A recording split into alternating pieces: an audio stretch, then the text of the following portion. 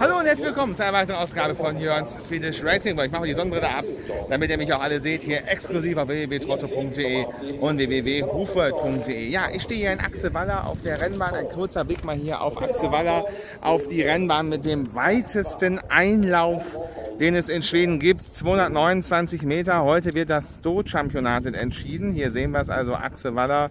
Ähm, die Rennbahn bei wunderschönstem Sonnenlicht hier in der Nähe von Skara im wunderschönen Mittelschweden. Doch wir wollen uns heute mit der nächsten V75 äh, beschäftigen, denn die nächste V75 geht nämlich bereits schon los am kommenden Dienstag. Nämlich am Dienstag heißt es Jägersruh, Hugo Orbergs Memorial 2021. Ein nächstes absolutes Highlight, ein Gruppe 1 Rennen über 1609 Meter mit allen Topstars, die wir zurzeit uns wünschen können am Ablauf. Und natürlich gibt es eine V75, die natürlich hier exklusiv auf www.trotto.de und www.hufvoll.de in einer Tippgemeinschaft wieder wetten können. Seid also dabei beim Jörns Swedish Racing World Tippgemeinschaftssystem, wenn es wieder heißt, wir gehen auf die Reise, wir gehen zur V75 nach Malmö, nach Jägersroh. Also da freue ich mich drauf, ihr seid dabei. Start ist um 19.20 Uhr, direkt mit dem ersten Rennen. Das ist der Prix Orjeng, 1640 Meter Autostart. Und hier erwarte ich in diesem Rennen einen dänischen Sieger. Wir haben die Programmnummer 2, Billy Time, mit Fleming Jensen am Ablauf. Zuletzt drittplatziert in Orbi, davor war er in Odense sogar siegreich. Der letzte Start war zwar in Odense eine Disqualifikation, aber ich glaube, dieser Billy Time mit Fleming Jensen hat hier absolute beste Chancen, dieses Rennen zu gewinnen. Die Nummer 7, Staro Obrigado, ist der zweite dänische ähm, Gast hier mit Sten Juhl, kommt mit zwei Siegen aus Mantorp und aus Sovalla hier an den Ablauf. Und ich glaube, dass Billy Time hier ähm, mit Star Brigado, der Programm Nummer 7, zu kämpfen haben wird und dass die beiden Dänen diesen Sieg unter sich ausmachen werden. Lachender Dritter könnte die 5 Unico Broline mit Erik Alisson sein. Unico Broline kommt mit tollen äh, Platzierungen aus Orbi und aus Sovalla an den Ablauf. Jetzt sitzt Erik Alisson im Sulki. Das ist auch nochmal eine Aufwertung dieser Formen. Und deswegen glaube ich, dass hier die Programm Nummer 5 Unico Broline lachender Dritter sein könnte. Für mich aber im ersten Rennen die 2 Billy Time mit Fleming Jensen oder die 7 Staro Obrigado mit Stan Newell sollten den Sieg hier unter sich ausmachen. V75-2 ist der Prix Mikkeli über 2140 Meter Autostart und dieses Rennen ist ein sehr, sehr offenes Rennen. Da muss man sich, glaube ich, breit aufstellen, der V75, wenn man hier treffen möchte. Natürlich muss die 1 Giordano, äh, Giordano Soa mit Björn Gub natürlich mit. Zuletzt gab es zwei Siege in Sovalla und in Axewaller tolle Leistungen. Björn Gub, der schwedische Champion oder schwedische Allzeit-Champion, wenn man so möchte, muss auf jeden Fall hier natürlich mit der Programm Nummer 1 auf den Schein. Interessant ist Nummer 6, John King Bochum mit Jab van Rijn. John King Bochum war zwar zuletzt in Berlin-Mariendorf disqualifiziert, davor gab es aber einen zweiten Platz in Wolvega und einen vierten Platz in Gelsenkirchen und dann auch einen Sieg in Gelsenkirchen. Also John King Bochum mit Jab van Rijn auf jeden Fall mal mitnehmen. Mein Mumpfer in diesem Rennen ist trotz Startplatz 8 die Nummer 8 Indigo mit Rick Ebbinge. Indigo kommt mit tollen Siegen aus Wolvega hier in Ablauf, war dreimal erfolgreich in Wolvega und sollte hier das zu schlagende Pferd sein, die 8 Indigo, mein persönliches Mumpferd. Interessant ist noch die 9 Icarus Di Quadro mit Hans Krebers. Der Icarus Di Quadro war zuletzt in Omol siegreich, auch sehr überlegen siegreich. Davor gab es allerdings mehrere Disqualifikationen. Das wäre also sehr, sehr unsicher. Hans Krebers fährt aber in toller Form. Wir erinnern uns an den tollen Sieg vom Samstag hier in Axewaller, wo er die Haushof-Favoritin Nymke Brigadon mit Björn Gut besiegt hat. Also Hans Krebers, die Nummer 9, Icarus Di Quattro, sollte man hier mal auf jeden Fall mitnehmen. Die 11, Even Steven mit Fleming Jensen, kommt mit einem Sieg aus Jägersroh zuletzt einen Ablauf, hat hier durchaus auch Chance. Der dänische Iceman Fleming Jensen kann hier durchaus ebenfalls mit der 11 Even Steven gewinnen. Und die 12 Suarez mit Örjan Schiedström, sehr, sehr wechselhaft agierend. Jetzt sitzt der schwedische Iceman, also im Sulki, nämlich Örjan Schiedström. Und deswegen denke ich, dass man hier Suarez zumindest beachten sollte, die Programmnummer 12. V75-2, der Prix Mikkeli. Sehr offenes Rennen für mich. Hier die Nummer 1, Giordano Soa und die 6, John King Bochum müssen mit. Mein Mumpferd ist die 8, Indigo mit Rick Ebbinge. Die 9, Icarus Di Quadro, die 11, Even Steven und die 12, Suarez müssen aber auf jeden Fall mit. Das dritte Rennen ist über 1640 Meter Autostart, das nächste Rennen. Und da haben wir natürlich den haushohen Favoriten, nämlich Nummer 2 Ben-Gurion Jet mit Alessandro Gocciadoro. Alessandro Gocciadoro hat mit Ben-Gurion Jet in Charlottenlund im Mai im Rahmen des Kopenhagen Cups gewonnen, war danach noch zweimal in Italien siegreich. Also wer soll den hier schlagen? Für mich ein ganz klarer, heißer Bankkandidat, wenn er glatt in den Kurs kommt. Die Programmnummer 2 Ben-Gurion Jet. Erster Herausforderer ist die Programmnummer 9. Freund Balboas äh, Lux mit Christopher Eriksson. Er war zuletzt in Kalmar disqualifiziert. Davor war er aber viermal siegreich in Jägersruh, in Sovalla, in Orbi. Also erster Herausforderer trotz Startpunkt Nummer 9 ist hier für mich Nummer 9 Balboa Lux mit Christopher Eriksson.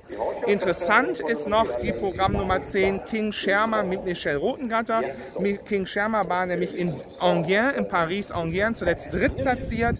Davor gab es einen zweiten Platz in Mantorp und einen Sieg in äh, Wolvega. Also wenn hier jemand überraschen kann, dann ist das King Schermer mit der Programmnummer 10 und Michel Rotengatter im dritten V75-Rennen, während die Parade hier in Axeweller bereits schon losgeht zum ersten Rennen. Da sehen wir Björn Buch gerade.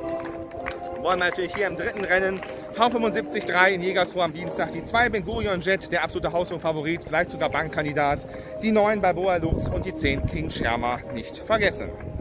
Das vierte Rennen, das ist das Breeders Course Finale. Breeders Course Finale über 1640 Meter, der Prix Growing Kronos. Wir erinnern uns alle noch an Growing Kronos, ein tolles Pferd aus dem Stall von Ludwig Colgini, bereits vierjährig am Elite Loppe teilgenommen und ähm, ja, wirklich tolle Leistungen gezeigt.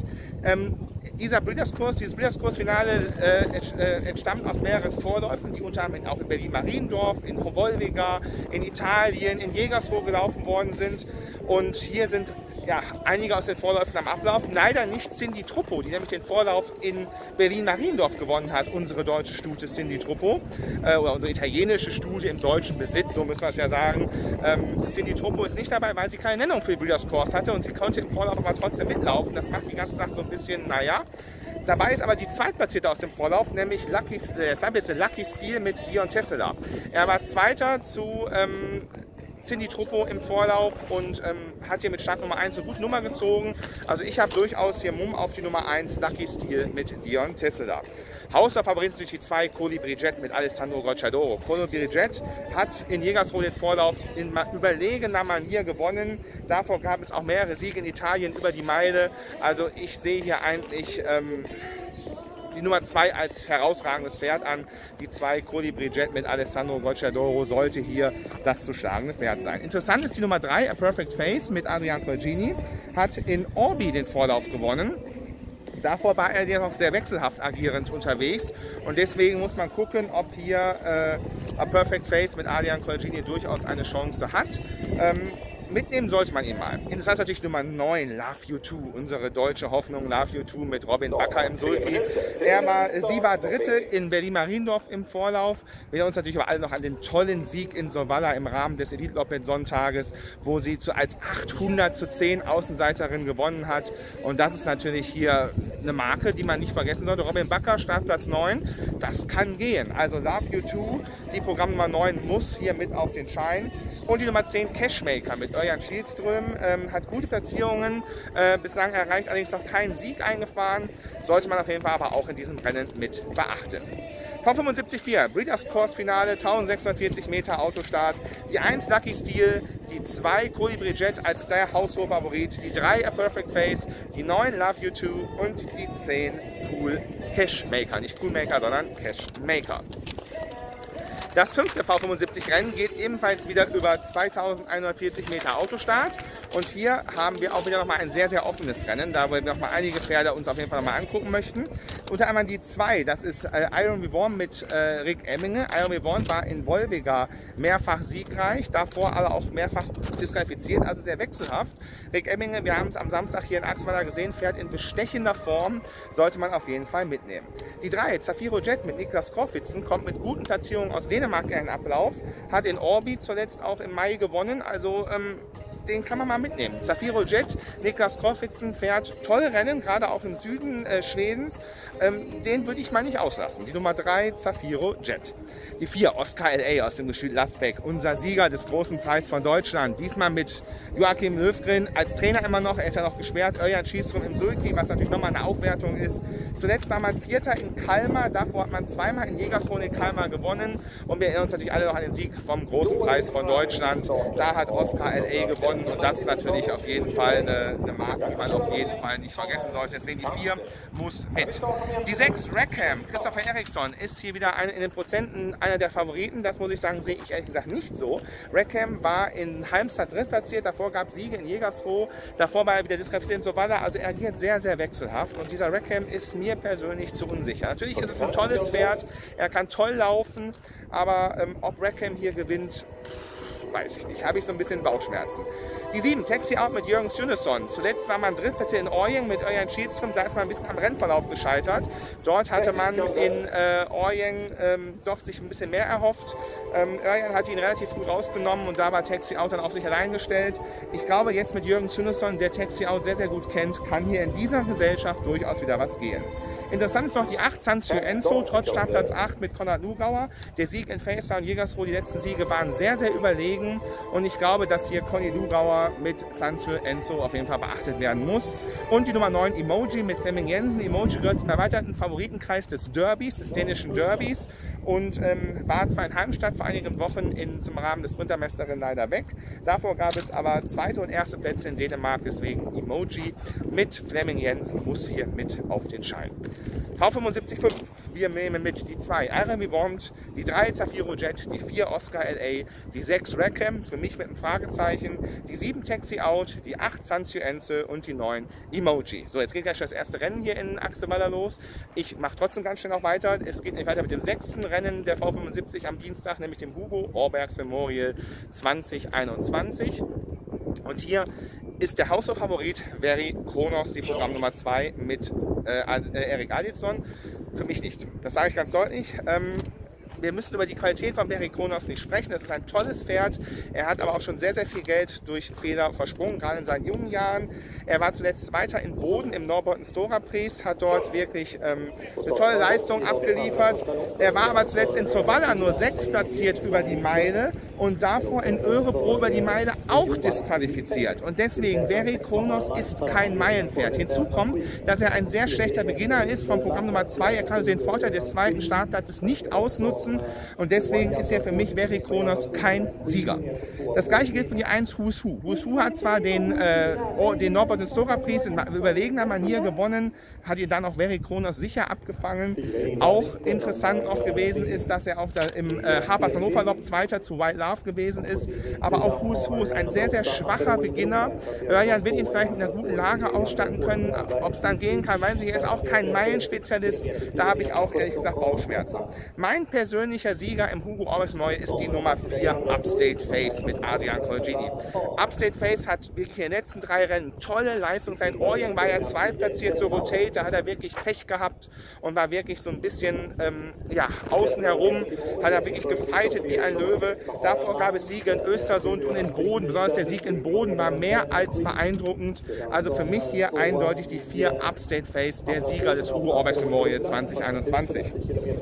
Kalle Crown, die 5, ist so ein bisschen das Dark Horse in diesem Rennen.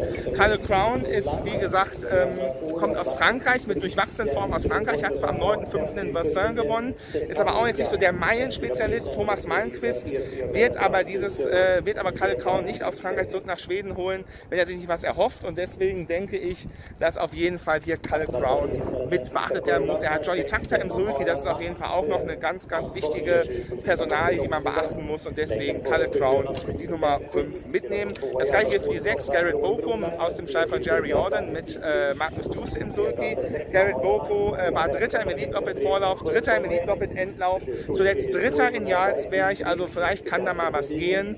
Und deswegen denke ich, dass die Nummer 6, Garrett Boko, hier mitgenommen werden muss. Und die 7, Al-Rajavon mit Alessandro Gocciadoro, das ist natürlich der absolute Meilenspezialist. Al-Rajavon war zuletzt Dritter in Rom, davor aber zweimal siegreich in Neapel über die Meile. Und deswegen glaube ich, dass hier Al-Rajavon mit Alessandro Gocciadoro durchaus trotz Startplatz 7, wenn er, ist ein sehr, sehr schneller Beginner, hier einiges reißen kann. Also, wir gucken uns mal ganz kurz den Einlauf an hier in Axewanner mal live eben gucken, das erste Rennen.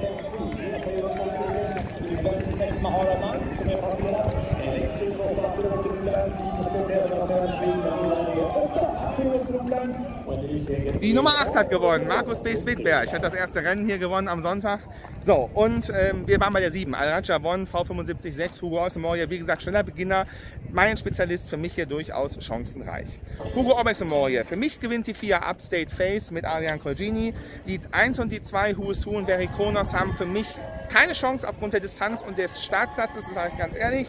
Die 5 Cattle Crown kann gewinnen, die 6 Garrett Boko im optimalen Rennverlauf ebenfalls und die 7 Al-Raja Bonn mit Alessandro Bocciado. Und wir kommen zum letzten Rennen der V75, V75 Das ist der traditionelle Malmö Stadtpreis. Und dieser Malmö Stadtpreis über 3140 Meter Bänderstart. Ich glaube, dass man hier mit drei Pferden auskommen müsste. Oder vielleicht mit, ja, wir mal, drei oder vier Pferde auskommen müsste äh, in diesem Rennen. Für mich ganz heißer Kandidat auf den Sieg ist die Nummer 7, Hurricane Silas mit äh, Jan Schiedström. Hurricane Silas aus dem Stall von, Stefan per, äh, von Frederik Persson ist ein absoluter Distanzspezialist. Er war zuletzt Zweiter in Kalmar über 3160 Meter, davor mehrfach super platziert über die lange Distanz. Also für mich Hurricane Silas hier das zu schlagende Pferd, die Programm Nummer 7. Interessant Nummer 3, MT Oscar mit Ken Ecke. Äh, MT Oscar war in Heimstadt zuletzt an einer ähnlichen Aufgabe disqualifiziert, also am Start bereits aufgefahren. Ähm, Davor gab es mehrere Siege, auch über die lange Distanz. Also MT Oscar steht auch im ersten Band, hat also auch den Bandvorteil mit Ken Ecke. Die Nummer 3 sollte man auf jeden Fall auch mit beachten. Die Nummer 5 Dortmund mit Fleming Jensen. Das Dortmund galt in seinem Jahrgang als Derby-Favorit, hat es dann nicht ganz geklappt mit dem Derby-Sieg. Ähm, er siegte über 3200 Meter zuletzt in Nüschöbing. Er kann auch diese lange Distanz. Also deswegen Dortmund, die Programm Nummer 5 muss man hier ebenfalls mitnehmen. Und die Nummer 8 für mich das Dark Horse, das ist Ferrari Sisu mit Marc Elias aus dem Stall von Konrad Lugauer. Ähm, Ferrari Sisu war zuletzt Vierter in Enghien über 2800 Meter, davor in Kalmar siegreich über 3200 Meter. Also der kann die Distanz. Marc Elias kennt Ferrari Sisu, er war mit ihm auch schon sehr, sehr erfolgreich in jungen Jahren, also in jungen Jahren des Pferdes. Marc Elias ist ja auch noch nicht so alt, aber ähm, Ferrari Siso, die 8 muss man hier auf jeden Fall mitnehmen. Die 12 White Love, für mich hier keine Siegerin. Die letzten Leistungen waren doch zu enttäuschend. Deswegen glaube ich nicht, dass White Love hier eine Chance haben wird zu gewinnen. Für mich im Malmö Stadtpreis die 7 Hurricane Silas, die 3 MT Oscar, die 5 Dortmund und die 8 Ferrari Sisu. Ihr seht, es ist wieder eine spannende V75-Runde am kommenden Dienstag. Wir werden uns natürlich hier exklusiv auf www.trotto.de und www.hufold.de aus Jägersro melden. Und ich hoffe, dass ihr natürlich dabei sein werdet und natürlich auch in unserer Jörns Swedish Racing World Tippgemeinschaft dabei seid, wenn es wieder heißt V75 aus Jägersro, Hugo Obex Memorial 2021. Seid dabei, denkt dran, abonnieren, liken, wiederkehren. Ich freue mich auf euch und wünsche euch einen schönen Sonntag. Mit lieben Grüßen aus Axewalla und sage dann bis zum nächsten Mal. Tschüss und bleibt dran. Bis dann.